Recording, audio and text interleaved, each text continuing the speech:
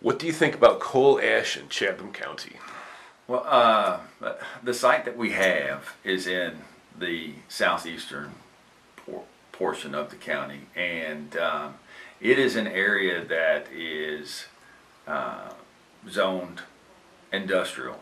I mean, it's vastly industrial. It has the nuclear reactor there, and um, there's a large brick plant there. There's a large plywood plant there. There's a large lumber mill there, and so it has um, a lot of industrial uses already.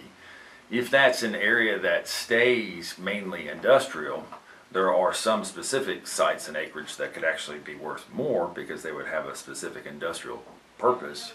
But um, uh, residentially right now, it's, it's, it's an unfortunate um, uh, negative on property values if they're strictly residential. I don't think too many people want to live next door to the coal ash site. Uh, there is a lot of county water there, so if they're hooked up to municipal water, there should be less issues, but, um, you know, there's a lot of fear, a lot of fear about living next door to something like that. And, uh, uh, there's quite a bit of truck traffic in that area right now. I mean, now that that has been proposed as one of the major sites, that coal ash is coming in from multiple sources. Are you an expert witness for Chatham County, for all North Carolina, or? I've been, uh, uh, I have, uh, been hired as a, a federal bankruptcy expert witness for, um, Greensboro. Okay. That was intimidating. Federal court is much, much different than, uh, state court. So, it's because of that designation that I have, the accredited land consultant. There's, um, there's like 350, 400 across the country. It is one of the most difficult designations to get as far as real estate is concerned.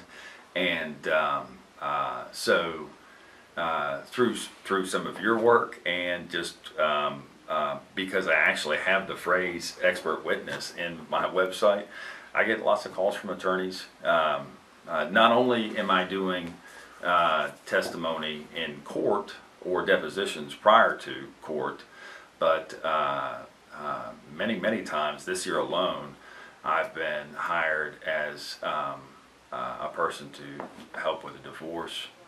Um, there's something called a petition for partition, where we have a family that inherits land. And so you'll have four family members inherit 100 acres, and you would just assume that that would be 25 acres each. But uh, as we discussed earlier, all acres aren't uh, the same. Like when we said, an ounce of gold is not an ounce of gold when it comes to land. Um, so, you know, on 100 acres, there'll be a section that has road frontage. That's going to be worth more. There could be a section that has better soils for perking and septic. That's going to be worth more. There could be uh, lowland swamp area, and that's going to be worth less. And so it's it's very difficult to figure out how we're going to cut those four acres up equally amongst uh, four heirs. Usually, well, the best thing to do is sell the entire hundred acres, and it, it's a lot easier to divvy up money than it is land. What else does an expert witness do? Um, well, it's it's just it's just to give uh, uh, the judge or the jury some um, information that's outside the norm. You know, most people would think that all acres are created equal and they're all worth the same. Uh, also, it's just the experience of the market, what's happening with prices and values, whether or not they're going up and down. It's just, you know, it's just it's just our area. The reason why I do it, I mean, they do they do pay us, and it's a decent hourly wage to be paid. And when I did the federal bankruptcy court, I actually uh, they had my testimony. My testimony was read, but I was never called upon to stand. But for three days, I had to be there, and I was paid, you know, to be there all three days or whatever. But really, one of the reasons why I do it is because there will be other expert witnesses there. I'll learn about the process. I learn from other experts in the field, and I just think it helps better serve my clientele.